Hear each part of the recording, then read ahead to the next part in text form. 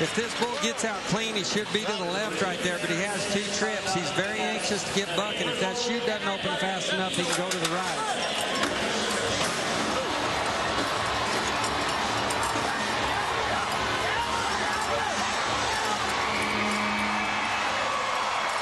It has been a long time since we've seen Perfect Poison act like that tie when the chute is open. The clock stopped at 1.5 seconds. We're going to have to see if it took a huge shot to the face. Let's see why the clock may have stopped. Yep, there it is. A slap right away.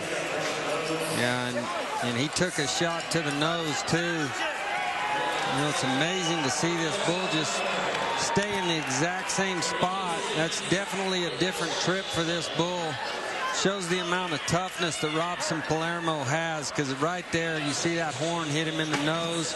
There you can see the slap. You hate to see all that effort go to waste, but that is part of the brutal reality of bull riding.